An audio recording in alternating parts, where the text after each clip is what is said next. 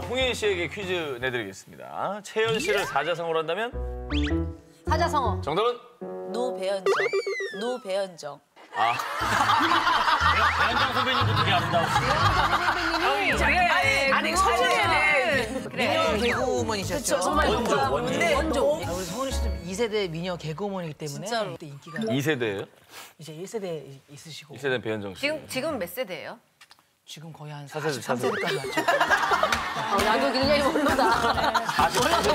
43세. 원로 선생님. 미인 형이야. 예쁘세요. 정답이 뭡니까. 그래서? 정답은 구진 현채입니다. 구진현체. 구이진숙, 현 이채연. 네. 본명과 채연이 있는 거 아니었어요? 아니요, 그 데뷔하면서 아예 개명을 해가지고. 네. 근데 올해보다 보니까 진숙이 진짜 어울리는 거 같아. 친근해요. 어. 뭐. 네, 그래서 대학교 진숙이. 친구들까지는 다 진숙이라고 부르고 아직도? 사회에 사회에 나온 사람들은 채연이라고 부르고 그럼 진숙 누나 전 민규라고 불러요 그럼. 그럴까요? 민규도 어울려. 그러면 우리도 좀 우리가 좋아하는 이름으로 좀 오늘 오늘만큼은 불러주게 하자. 오늘만 오늘만 우리도 그렇잖아. 없어요 그런 이름?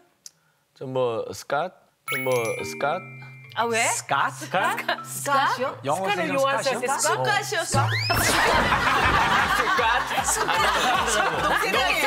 사람들하고 사람들하고. 사람들하고.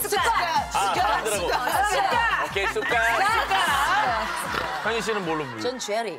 텀과 제리에서 쥐자 제리잖아요. 근데 제리. 너무 귀엽잖아요. 젤리가 아니라 제리. 젤리. 근데 진짜 젤리는 좋아하고 제가 먹는 거고. 저는 그 제리한다 그래서 저는 톰. 자, 다음에 제리.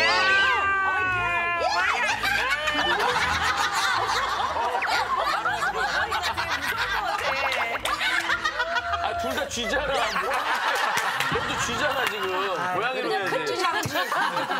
아니요 시골쥐랑 서울쥐였어요.